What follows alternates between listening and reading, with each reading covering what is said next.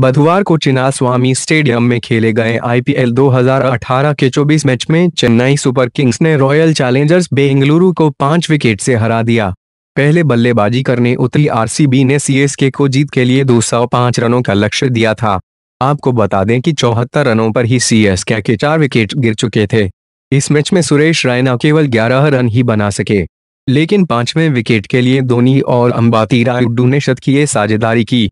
Man of the match कप्तान महेंद्र सिंह धोनी ने सात छक्के तथा एक चौके की मदद से मात्र 34 गेंदों पर 70 रनों की नाबाद पारी खेली।